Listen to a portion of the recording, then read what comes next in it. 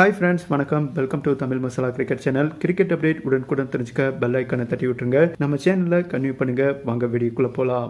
India A versus Australia A test second warm up match play பண்ணி வராங்க. முதல் டே பார்த்தீங்கன்னா இருபது விக்கெட் எடுத்தாங்க பகலிரவு ஆட்டத்தில். பிங்க் பால்ல ப்ளே பண்ணி வராங்க. ஓகேவா முதல் பேட் பண்ணி இந்தியா முதல் டே வந்துட்டு நூத்தி தொண்ணூத்தி எட்டு ரன் அடிச்சாங்க. எந்த ஒரு பேட்ஸ்மேனுமே அவ்வளோ ஒருத்தா ப்ளே பண்ணல. பட் லாஸ்ட் மிகப்பெரிய மேஜிக் நடந்தது. நம்ம பும்ரா இருக்கார் இல்லையா? மெய்டன் பிப்டி மின்னல் வேகத்தில் அடிச்சாரு. இரண்டு சிக்ஸர் கிளாஸ் பண்ணாப்ல. பும்ரா மட்டும் ஐம்பது ரன் அடிக்கலன்னு பார்த்தீங்களா இந்தியா நூறு ரன்ல ஆல் அவுட் ஆயிருப்பாங்க. ரீசெண்டா பாத்தீங்கன்னா முதல் இன்னிங்ஸ் நூத்தி தொண்ணூத்தி எட்டு ரன் அடிச்சாங்க. பின்னர் முதல் இன்னிங்ஸ் ஸ்டார்ட் பண்ணி ஆஸ்திரேலியா இருக்காங்க இல்லையா? அது ரெடியா ப்ளே பண்ணுவாங்கன்னு பார்த்தா இந்திய பவுலர்ஸ் கம்ப்ளீட்டா அடக்கி தூக்கி எறிஞ்சிட்டாங்க. நூத்தி நாலு ரன்ல பாத்தீங்கன்னா ஆல் அவுட் ஆயிட்டாங்க. முகமது சமி பும்ரா அண்ட் சிராஜ் வேற லெவல்ல பவுலிங் போட்டு கிளாஸ் பண்ணிட்டாங்க. சைனி மூணு விக்கெட் எடுத்தாரு.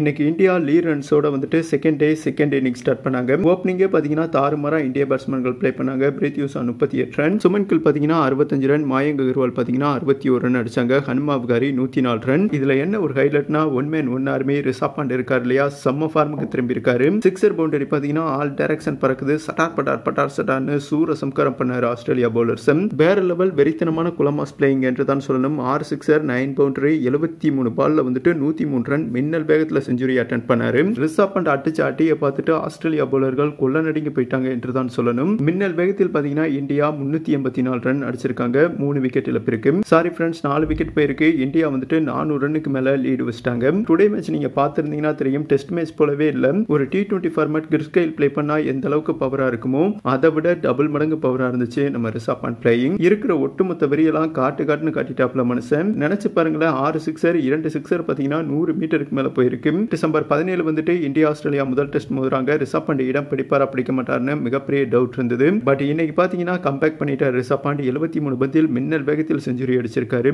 ரிஷப் பாண்டியன் இந்த தீயான மாசான இன்னிங்ஸை நீங்க வாட்சிங் பண்ணீங்களா? கமெண்ட் பண்ணுங்க. வீடியோ அனைவருக்கும் ஷேர் பண்ணுங்க. மீண்டும் இன்னொரு வீடியோவில் சந்திக்கலாம். நன்றி.